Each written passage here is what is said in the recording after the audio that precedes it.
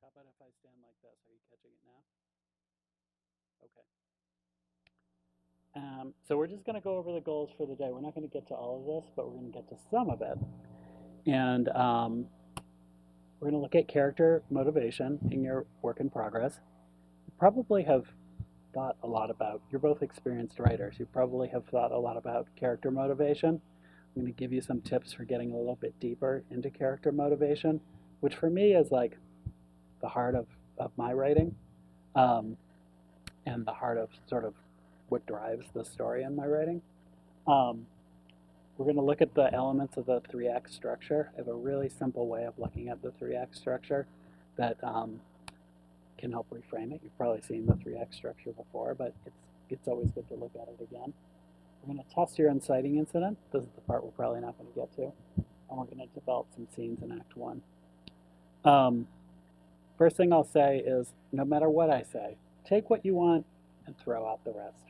Um, people have a lot of, people are, are always giving advice to writers. Always do this. Always, never have a prologue. That's my favorite one. Always write in the first person. Um, if you ever hear advice where there's an absolute like that, take the absolute and replace it with consider. Because things like prologues, you do want to consider whether you want to have a prologue. Sometimes you actually don't need them. Um, and it's a good question to ask yourself as a writer, do I actually need to do this? Is it, is it supporting the story? Um, but sometimes you actually do want to have a prologue, and sometimes it works really, really well. So always, always, never get rid of them. Um, so let's go on to character motivation. Let's go to the next slide. Next one. Um, so here we have typical, we're going to go through a few things with uh, character motivation. The first thing is just typical aspects of character development. Um, and then we're going to go get into, we're going to get into something that I don't call this, someone, I stole this idea from someone else. It's called the character, uh, the motivational continuum.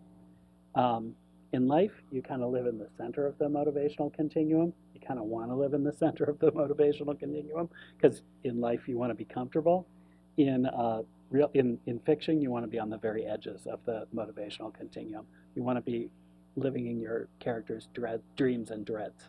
And we're going to talk a little bit about how to get to the, the dreams and dreads of your characters. Um, and we're going to do a couple of different uh, activities to help get you there. So what you're going to need as we go forward, you're going to think of two characters in your current work in progress, or the one that you're, or the one that you are trying to sell. Um, you want one that you know really well, and you want one that you want to dig into and find out a little bit more about, one that's been a little bit mysterious to you. You're going to want your paper and pencil, or your computer, you both have paper and pencil. Um, and there are no handouts. People always ask that, but I will share the slides. Um, and there are lots of activities in the slides. This is usually a four-hour presentation, um, and we're obviously not going to do four hours tonight. Um, so I'm going to skip through a few things, but you'll you'll get the activities anyway. You can do them on your own. Um, okay, next slide. Okay, so let's, we're just going to take about uh, two minutes to do this. It says 10 minutes there, but we're going to take two minutes to do this. Um, this. These are the basic aspects of character development.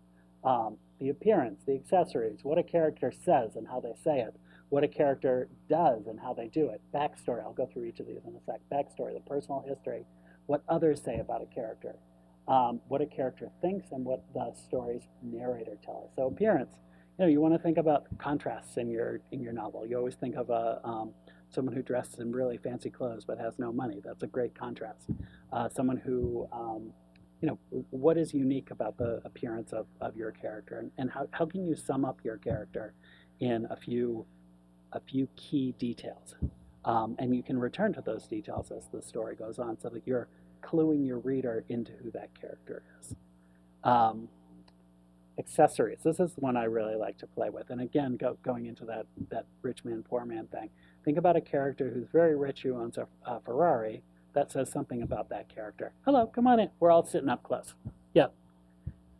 Um, think about a character who, is very rich and owns a Ferrari, that says something about that character. But think about a character who's very rich and drives a beat up Ford. That says something completely different about that character. So think about the think about not all of the accessories, but the the, the accessories that help define who your character is. Um, what a character says and how they say it. This is the joy of fiction, right? You get you get to delve into interiority. So a character may say something, "I hate you," but the interiority delves into the fact that I actually love you. Um, how can you how can you set up those contrasts in in uh, in a story? What a character does. Why did you bring that dog here? Then you then you find the character secretly giving the dog a uh, you know a dog biscuit with peanut butter on it. So what where are those contrasts? Um, backstory. You know this is one of those nevers and always. People are always saying never have backstory in a in a novel. All characters have backstory. There always has to be a little bit of it there. Um, so what is important about the backstory for your character? Um, what others say about a character and how does that conflict with the inter interiority of that character and who, who you, the, the reader and the narrator, know about the character and what a character thinks. So what people say and what a character thinks, those are going to contrast with each other. Um, and then what does the narrator tell us about a character? So the narrator is sometimes very, very close to the character, Sometimes there's a little bit of a removal from a character, and sometimes the narrator sits way up here. So depending on how your story is told, you can uh, use your narrator in different ways. So now we're going to do our first exercise, and we're going to take, let's take uh, five minutes on this. I said two, but I'm, let's do five. Um, so each of these things, you don't have to do all of them, but focus on the ones that you don't, that you can't quite, that you're having trouble answering. Okay, so for this is for a character that you know well. So now you're going to delve into that character even more. And think about the think about the things you don't know about that character, because now you'll know about them even more. So we're going to go until a quarter of seven. Okay, so we're going to go on. So this is these are things that you can use when you're developing a character. You don't need to use all of them. You don't need to go crazy with them. Like a like a character doesn't need 27 different accessories or um, or uh, you don't need to talk about the entire appearance of a character, but you want to what are what's important to know about the character's appearance? What's important to know about what the character has uh, carries around with them? Um, and use contrast as much as you can. Use that interiority uh, when you can to really create uh, who who the character is and who the, how the character is perceived and how the character perceives themselves. Um, okay, next slide. Um, okay, so now we're going to talk a little bit about um, the motivational continuum. So Here's a story. A man finds a lamp with a genie inside. Genie says, I'll grant you three wishes. Whatever you desire can be yours. Man says, That's okay. I'm pretty content as I am. Tell that story. Is there anything interesting there? The end. That's the end of the story. He had some dinner. Everyone went home. Oh, maybe it is. I don't know. Um, so the now let's go on to the next slide. Okay, so same story, and the man says, Could you help me forgive myself? Now try and tell that story, that you could take that story in so many different directions, right? There's lots of tension there. There's lots of dramatic tension. There's lots of motivation for the character. There could be motivation for the genie, too, if the genie, if you want to make the genie the protagonist. Um, so this is what I'm talking about when it comes to motivation, really understanding. You can write a, you, you actually, there, like, again, there are no rules in fiction. You can write a story that's about someone who's happy and doesn't want anything. It, it's going to make your life a lot harder. Okay? Um, okay, next slide. So we're going to start out, we're, I'm going to go through these quickly. This, this is one of the ones where the slides are a little longer than we're going to go through tonight. So when we talk about um, expectations, I have a couple examples of myself up here. Expectations are the things that you, you do every day. They're the things that you go to work, you pick your kids up at school, you make your meals, you know, you, you kind of do what you're supposed to do. Most of us live in expectation in the in the center of the, the motivational continuum is like this. And right at the center is expectation. That's where we mostly stay. That's where we feel comfortable because there's no drama. Um, and so for my examples, I expect to finish the manuscript that's due at the end of this month. God help me. Um, I expect to lead a successful class on Tuesday when I'm on campus. I teach at Emerson College. Um, there's nothing exciting about either of those things. Okay, and we're not going to do this. You, you already know what this is. We're not going to do the exercise. You already know what this is. Let's go to the next slide. Um, as you move away from expectations, um, you're going to get into um, hopes and fears. And so you have expectations in the middle, you move out to hope and fear. And so if you look at my two little examples here, I hope that my editor will like the manuscript and won't send me too many edits. And I fear I'll miss my deadline and have to ask for an extension. There's nothing much. If I ask for an extension, guess what? He'll say yes, he always does. And if he sends me edits, he always sends me edits. I'll do what he says. You know, there's there's nothing there. There is some work that has to be done, and there's a little bit of anxiety around those things, but it would be hard to build a novel around that. And I hope my students will come prepared to class. They never do. Um, and I fear that there'll be a long empty silences that I'll feel compelled to fill. There always are. So I already know that those things are going to happen, right? Okay, so those are your hopes and fears. So now we move to the edges of the motivational continuum. Next slide. And um, now we get into the dreams and the dreads. And this is where you want to really push your characters. So sometimes it can be, I do this myself, in fact. Um, I'll, I'll go through and I'll write a draft of my novel, and it's super boring. And I'll think to myself, why is this super boring? And it's because I'm not pushing, I'm not pushing my characters to really face the things that I'm actually writing away from the drama of the, of the novel, and I'm not pushing them to actually face whatever it is, the murder, the the mayhem. Um, and so here is a couple of, so we've taken my expectations, we've moved them out to hopes and fears, and now we're moving them out to dreams. I dream of having this book reviewed in the New York Times, and I dread that the manuscript will be rejected, my contract canceled, and I'll die in obscurity. Um, and so those are those have some consequence, right? And notice how they're not the opposites of each other. The um, the hope uh, or the sorry the dream is getting the book reviewed in the New York Times. The opposite isn't that it's not reviewed that I that I, I dread it not being reviewed in the New York Times. Dread is dying in obscurity. They're not opposites of each other. Same thing. I dream of inspiring my students to become leaders. That'd be awesome. Um, and I dread getting terrible evaluations and being fired. That'd be terrible. Um, and it could lead to ulcer. It could lead to alcoholism and death. You know. Um, so Okay, so that is dreams and dreads. So now think about, like, just for one second, just think about a book that you've read recently and think about the character motivation. What was driving your protagonist for reading? And how would you, just, we're not even going to share this, just kind of think about how that might have, um, how they might have dreamed of something or dreaded something. Oh, this is another thing about this. A character doesn't have to have a dream and a dread in a novel. They can have both. They can have both, but you can just focus on one or the other, okay? Because we're about to do an exercise. So, next slide. Um, oh, next slide. Oh. oh, so here's the motivational continuum. I stole this idea from this guy named Michael Kardos, who's awesome. Um, and next slide. Okay, we are going to take five minutes on this exercise as well. This is also for a character that you know well. Um, so think about a character who you know really well in your current work in progress and complete the motivational continuum, but only focus on the dream and the dread. It says all of them up there. The, focus on the dream or the dread. Try to write um, three or four sentences that sum up what the character dreams of or what they dread and how that fuel how that fuels the story. Okay? We'll just take um, take three minutes on this. I keep changing the times. Three minutes. When you're working on your dreams and dreads, try to have a because. So and so dreads this because, and then fill in the because. Dreams of this because. Your story is the because. Okay, and like how does how does the we'll get this into into this in a second, but how does the uh, story come along to either thwart the dream, like what's blocking the dream from happening, or stir the dread? make the character actually fear what's happening with the dread.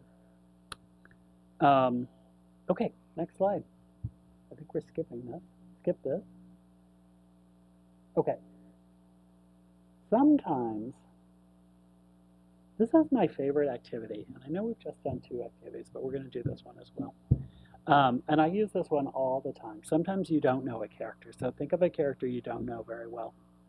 Um, and it should be a not a it doesn't have to be the protagonist but it should be a, a main character um, so winston would be a good example um, someone who isn't popping off the page who you aren't quite sure what to do with the character or even why they're in the story first i always ask myself does the character need to be in the story when that happens but if the character needs to be there what do you need to know about this character we're only going to do this for like three minutes, but I do this for like 15 minutes when I when I don't know uh, enough about the character. I answer this question: the one thing he, she, they couldn't admit to anyone, the one thing he, she, they almost couldn't admit to themselves was. And you want to get to that deep, dark secret that that character is carrying with them. It doesn't have to be dark, but what is the thing that they they hide from the world and that they keep only to themselves? And that's going to be your clue to getting to uh, the character motivation. Okay, so we're just going to spend, like we have with everything, we're going to spend three minutes on this. So think of a character you don't know very well, start with that prompt, and then just write continuously. Uh, everyone knows what a free write is? A free write is when you just write, um, you never lift your pencil off the paper. If you can't think of what to say, you write, I don't know what to say. Um, and you'll be surprised at what how, how it opens up the creative mind. So again, we're going to do this for three minutes character you don't know very well. Okay, so this you use all of these things for um, character development. So uh, what does your character want? That's the motivation. Uh, does your character get what she wants? That's the desire. So, and you want to think about what's pushing up against the motivation, right? So I, I dream of, I dread what is either stirring up that dread or uh, thwarting that dream and that's that's your plot basically. Um, how does your character change? That's the character arc, and your character changes based on how they respond to their motivation. Um, there are lots and lots of theories on character arcs. You can read about many of them on that website, uh, which you will get when we share you the slides. Next. Um, okay, we're going to skip this one, but this is uh, that's a good exercise to after you've finished a draft, uh, that exercise is all about making sure you've done your job. So your your main character is your your protagonist. There has to be some change there. They have to have gone from point A. It doesn't have to be like a huge leap or anything like that, but there has to be some change um, for the character, or no change. I say there has to be. That that's an absolute. But you can have a character who doesn't change at all, but they have to, they probably have come up against something that helped that stop them, uh, that, that they pushed against changing. Scarlett O'Hara is the exact same at the end of the novel as she is at the beginning of the novel. But the whole novel is about trying to get her to change, right? And she resists it. Um, so there's a good example of something that is an anomaly, but but you can do it. But in general, in novels, uh, the main character changes in some way. You, as the author, you want to make sure that you've actually mapped that change. Um, and so this is a good exercise to do at the end of your terrible first draft when you have no idea what to do next. Um, the thing that you want to ask yourself is, how can I make my character change even more? Okay, next slide. We're not taking a 15 minute break. So now we're going to talk a little bit about structure. Let's go on to the next one. Um, so uh, we're going to talk a little bit about base, uh, some uh, uh, uh basic theory about structure. This is the basic story structure. You start here with your inciting incident, something that happens that sets the story off. So in a murder mystery, it's often the murder. Okay, so you have the murder, you have an inciting incident that happens somewhere between page 1 and page 50 in your manuscript. Uh, modern day, you're going to be closer to 1. Old-fashioned, you're going to be closer to 50. There are no rules on that, but in general, you're going to have your inciting incident somewhere in those first 50 pages. Um, a lot of people, to go back to our little never have a prologue, a lot of people will have the inciting incident in the prologue, and it sets up the whole rest of the story. So there you do have a prologue, and it works for your novel, right? And then you have rising action. That just means things happen to your protagonist. You want things happening to them. And all the way at the end, you have a climax. This is your basic story, and if you have the, these two things with rising action in between them, you'll have a novel. I'm going to go a little bit more in depth into some other ways to structure uh, your plot, um, but this is where you, you are generally going to start. Um, next slide. So I'm going to talk a little bit about the three-act structure. there are all sorts of structures out there. There are like a million structures that you can read about. Almost all of them are derived from the three-act structure, so that's one that I like to start with. Um, and they get more complex. The 3-act structure is pretty easy to understand because guess what it is? It's the beginning, the middle, and the end. You have the inciting incident, it happens sometime in the, in the beginning. You have your climax, it happens sort of in the middle of the end. And then you have all that stuff in the middle where you're actually putting your, putting your character through all sorts of different things. Um, next slide. Now we get a little more complex, and we have these things called plot points. Um, and plot points are just, I, they're, they're not, they're, I, I find students have trouble understanding them, but there's something, there's something in a story that happens where the story suddenly becomes about something different. Okay? So in a murder mystery, you have your murder here, you have your investigator investigating his, his uh, number one suspect. The plot point one is when your number one suspect turns up dead. Because now the novel is not about pinning the murder to that suspect, it's about something else. And then the middle of your story can be about whatever the detective does from there on. So you want to think about what is happening in your novel that sort of turns it on its head. And I'll give you an example that most everyone knows. I hope everyone knows the example. Um, and your midpoint does the exact same thing. You thought your novel was about one thing, and now all of a sudden it's about something else. So I'll give you an example from the piece the, from the um, novel I'm working on right now. Um, my, this novel is about a, uh, a young man who lives on a lake with his family. His mother is killed, and he sets out, and he, his, his father, his long lost father, he's, he's, he's convinced that he sees his long lost father in a bar the night his mother's killed. So the whole first part of the novel, I'm giving this away to you, but the first part of the novel is him trying to find his father, like investigating whether his father's really alive. And the midpoint is when he discovers, he figures out that the cops actually think he killed his mother. So the novel was about him trying to find his father, and now it's not about that anymore. It's about him getting out of a bunch of trouble that he's gotten himself into. So you thought the novel was about one thing, now it's about something else. And so each of your plot points is going to do that for your novel in some way or another. Um, okay, next slide. Okay, this just kind of walks you through each of those in a little more detail. Um, let's go to the next slide.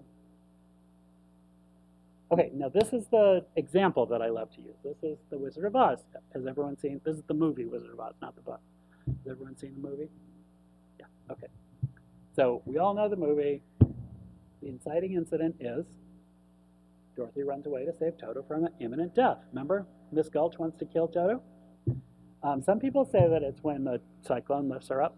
I like to say it's when Dorothy runs away because she's being active in that. Um, she's making the decision to run away. Oh, and also, what do we know about Dorothy? What is her character motivation? What does she want? Yeah, yeah, we know because she tells us, right? She sings an entire song about it. So when you're coming up with your inciting incident, don't keep it secret, okay? And in fact, in a first draft, be really obvious about it. Like say, I, have your character say, I want blah. I'm afraid of blah. I dread blah, okay? Uh, because that gets you, the author, to be like, oh yeah, I have to make this story about this thing. Okay, so Dorothy, she sings a song. Figure out what your song is for your character and get that into your first, in, into that first 50 pages, okay? Um, so Dorothy runs away to save Toto. Plot point one is after going on her journey, she sets out to find the wizard. Remember the um, Glinda comes down, she says the only way, the only way to get home is to follow the yellow brick road and find the wizard. So Dorothy decides to follow the yellow brick road and find the wizard. Again, she's making an active decision, right? Um, what is interesting about that too is what's her motivation now? What's just changed? The whole first part of the story was about leaving, and now she wants to go home, right? So now the story was about leaving, now it's about finding the wizard. It's about something completely different. Um, now we arrive at the midpoint. The whole novel, whole middle part of the, uh, of the uh, movie is about finding the wizard, right? When she gets to find the wizard, that's the midpoint of the movie, what happens? He sends her off. He says, you have to go, you have to go kill the witch, right? So now we thought the movie was, like the whole movie could have been about Dorothy following the yellow brick road, getting to the Emerald City, and getting sent home, right? That could be a whole movie, but it's not, and that's what makes it a really good story because she gets to her goal, and it turns out that that goal isn't the one that she needs. She has a new one. He sets the goal for her to go send her off to uh, not kill the witch, to get the uh, broomstick. But of course, she has to kill the witch to do that. Plot point two, which happens. Oh, by the way, this happens between one page one uh. This happens uh, about a quarter of the way through the book.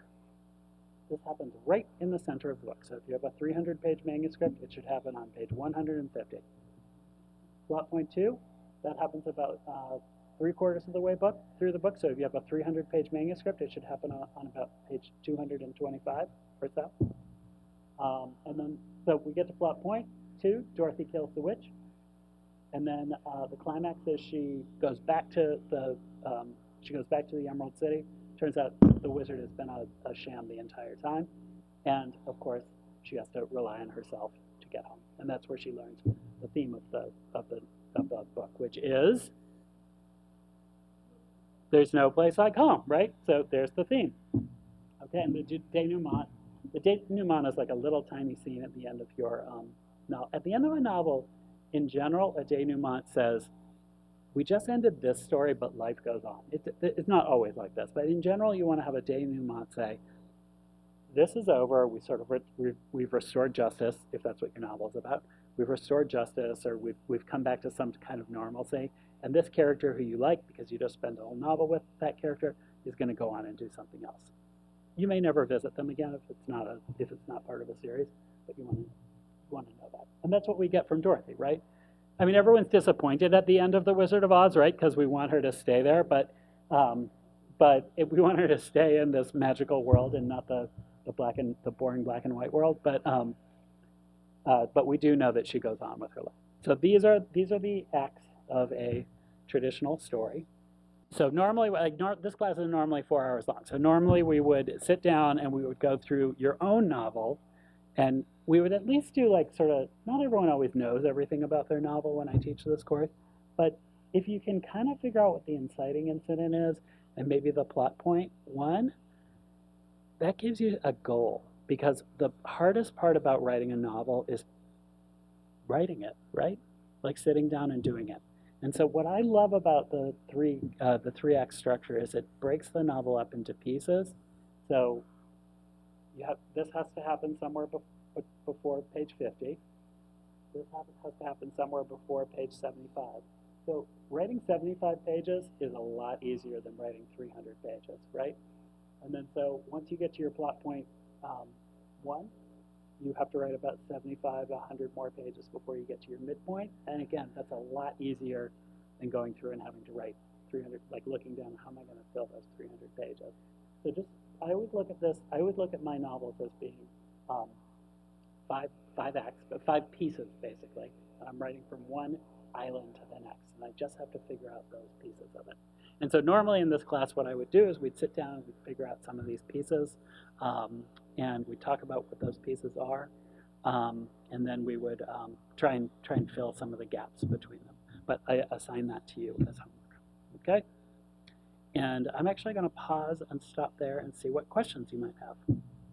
But actually, uh, musicals are really good examples for all of this stuff because musicals are sort are like they have a beginning, a middle, and an end. And you can and they are marked really well. I mean, Dorothy says she wants to go over the rainbow, she goes over the rainbow. At the end of the story, she says there's no place like home, and we're like, oh, that's what the whole story was about. You know, like there's nothing not obvious in, in this story. Right? And again, like don't be don't don't be too subtle in your especially in your first draft. Because you're when you're telling your story to yourself, you're telling the story to yourself. So know what the pieces are. You can get the subtlety into the um, the second and the third drafts. And sometimes you don't want subtle. Readers don't want subtle as much as you think they do.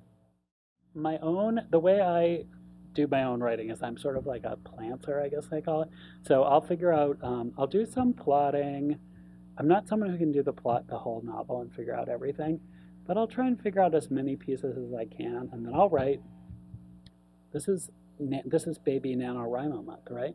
Um, so I did NaNoWriMo for the novel I'm working on right now um, in November.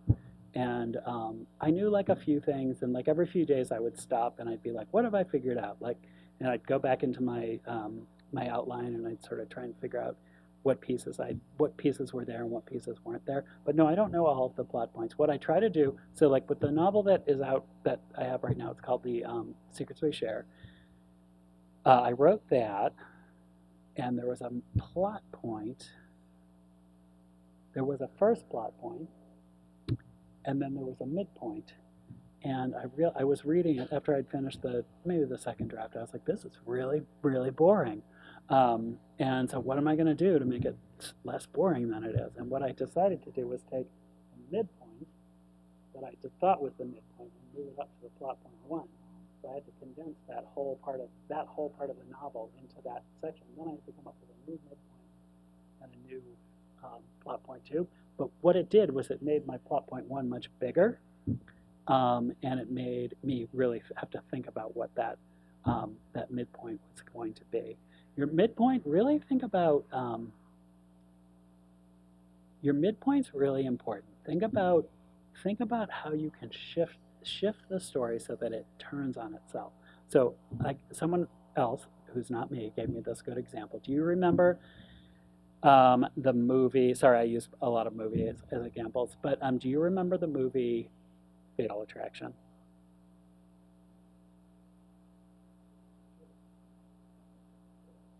Fatal Attraction is about this man and this woman who have an affair, like totally not of today, but it's about this man and this woman who have an affair. The woman becomes obsessed with him, and he's married, of course. And the whole first part of the novel, or first part of the um, movie, up to the midpoint, is about him wanting to get rid of her. He's like, he keeps trying to placate her, he keeps trying to co- convince her to go away. He thinks he can talk her out of bothering him. He's, he basically says, Stop bothering me. And then the midpoint is she's pregnant. And she's keeping the baby, and she wants him to pay child support. Um, all reasonable, all reasonable requests, by the way. It, the movie then becomes very unreasonable. But now the movie is no longer about him just wanting her to go away. Now the movie has shifted and she's a major problem. And she's going to disrupt his life, right? So think about how your midpoint and all of your plot points should be like this. How all of a sudden they be, can become something else. Does that make sense? And make them big. So sometimes you'll be like, oh, this is nice, and this isn't. Make it bigger, you know? Murder mysteries are really helpful, though, because you can always kill someone. Yep. Yep. You can always kill someone. You so like a typical for murder mysteries. Here are some that you can always use. You can you can have a suspect. You can have the whoever the suspect is winds up dead. Whoever the suspect is winds up having an alibi. Um, the person who's investigating is suddenly suspected. You have another. Um, you have another. Uh, you have two plot points that's two plot lines that suddenly converge. That's a great midpoint. So like this thing over here, this thing over here, oh, all of a sudden we realize that they're um, actually related to each other. Um, and that's really satisfying to the reader because they want it, they're like, oh, how is this puzzle going to suddenly come together? This is something that I do this thing called a character audit. Um, and again, I do this after a first or a second draft. I uh, take all the characters that have names, I put them on, down on a paper. You have your protagonist. Every novel has to have a protagonist or at least most do, remember, there are no rules in fiction. Um, but you have your protagonist, and then everyone else is secondary. Um, so you write them all down, and then you ask yourself, what's their purpose? What, what, how are they, how, what service are they doing for this novel? And if you can't answer that, these are only named characters, by the way. So any character with a name, what's their purpose? If you can't answer that, uh, if you have two characters that are doing the same thing, like a, two best friends, ask yourself, do you need two best friends? I mean, sometimes you do. Do they do they serve a different purpose as, as best friends? If you do need two best friends, keep them. But if you don't, one of them goes. You combine them into one character. Um, you know, so, so, all sorts of different things. You also look for characters that have names that don't need them. So if you have, like a lot of people do this, if you have a tendency to have everyone have a name, like the taxi driver has a name, like they don't need names. Um, and if they're like your taxi driver is suddenly taking over the story, that really needs to go because that's just that's just fluff. And so if you have characters like hairdresser, like if you're taking a taxi, just call the taxi driver taxi driver. That is actually a favor to your reader because your reader says, "Oh, I don't have to pay attention to this character." But you have to be. I will say this: being ruthless with your secondary characters will it saves you time because it makes your life easier. Uh, readers can only readers do not want a lot of characters with names in their novels. I will tell you this from my Goodreads uh, reviews experience.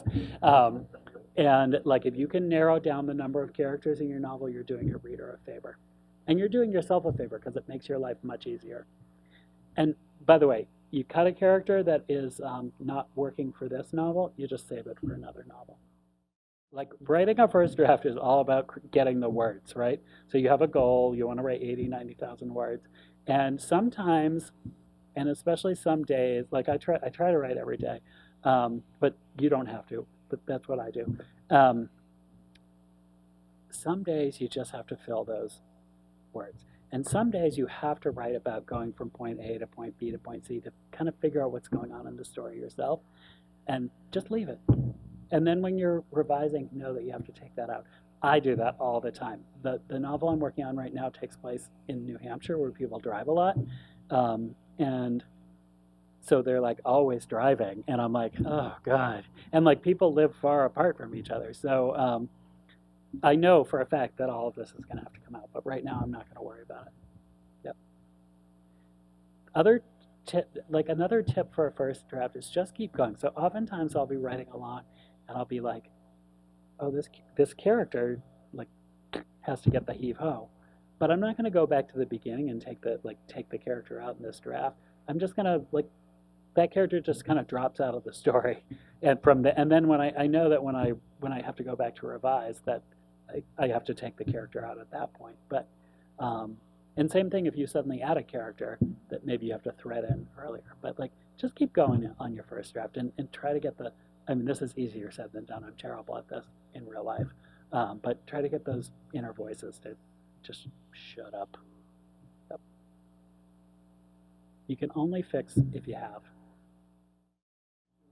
I'll do as much of the structure as I can think of, and I'm, I'm not smart enough to do the whole thing, but I'll try and have a few pieces of the structure in place, and then I'll write for, you know, a couple weeks, and then I'll be like, oh, what do I know about this story now? And then I'll put more of the structure in.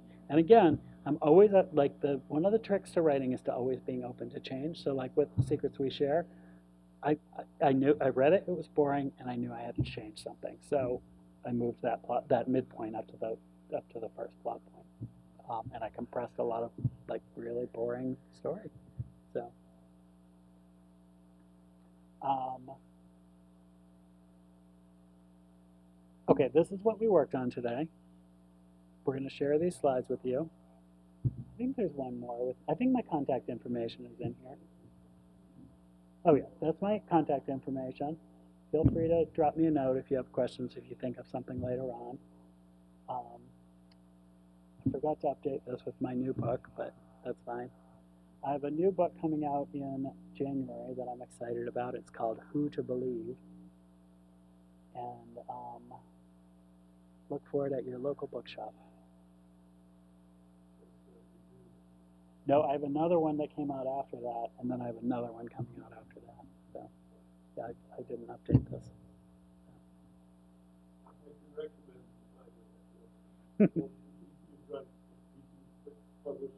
Yep, yep, yep. Um, thank you. I appreciate that. But drop me a note if you think of anything, okay? And uh, thank you so much for coming and for great questions. And uh, just keep at it. Yep. Thanks.